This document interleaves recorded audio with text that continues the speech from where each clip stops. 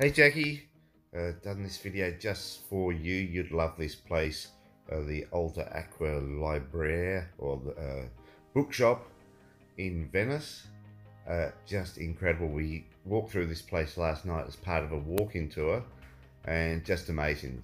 As you can see, books from floor to ceiling in a gondola, uh, goes out onto a, uh, to the canal, uh, and just some amazing titles, not just books. I don't think they're in any particular order, but yeah, some of the titles in the books there, you could spend hours there. So, to actually go back there today because we didn't get to spend enough time there, but to go back and just browse and might take some more photos of some of the titles and uh, maybe buy a couple of books there.